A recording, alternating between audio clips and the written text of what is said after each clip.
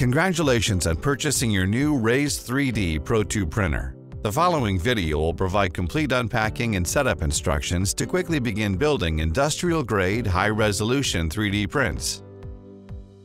When you receive your Raise 3D printer, you'll need to carefully remove its protective packaging. First, cut off the packing straps. Next, slice the packing tape along the top of the box. Now remove all the cardboard spacers.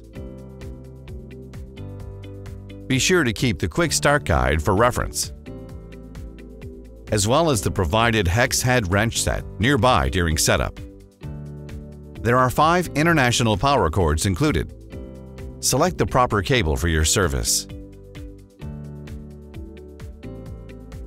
Remove the rest of the packing materials. Then set aside the clear acrylic lid. It's recommended that you have a second person help you remove the tall cardboard box. You will then both lift the Raise 3D printer out of the foam padding. Carefully place your printer in a clear area to continue setup. Locate the four shipping zip ties. Release and remove them.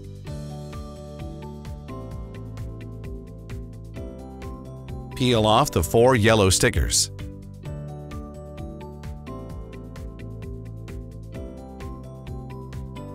Then you'll need to remove the 24 plastic security spacers. Twist to remove each one. Manually slide the print head to the back center. Select the largest hex head wrench and remove Z-axis clamps on both sides. Attach the power cord to the printer and turn it on. Your Raise 3D printer will boot up quickly. When you see the home screen, push the Utility tab, the Z-axis Home and OK to move the Z-axis origin. Remove the accessories that were shipped inside your Raise 3D printer. Take out the 3D accessories from the box you removed from the machine. Slide out the Raise 3D printing plate that can accommodate large designs and remove its protective foam padding. It's important that you completely remove the test print pattern from the plate before you install it. You can use the spatula provided in the accessory box. After you remove the test print, install the printing plate on the Z-axis platform. Secure it finger tight with the locking knobs. Add the filament spool holders on the slots located behind the side door. Place a filament spool on the left and feed the filament up the guide tube. Add a second filament spool to the right Feed that filament up the right guide tube. Note, the filament spools feed toward the center.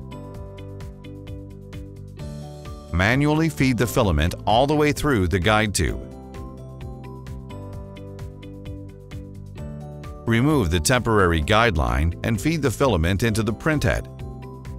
Slide the guide tube back in place. Close the door and you're ready to test your Raise 3D printer. Use a helper if you lift your raised printer up to a desk or table. Open the front door. Move the Z-axis down 60 millimeters. It can be set up to move in 10 millimeter increments, so tap it six times.